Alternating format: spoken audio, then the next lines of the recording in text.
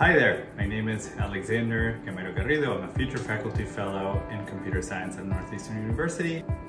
One thing that I would like to recommend to people earlier in their career is that mentors and peers are extremely important.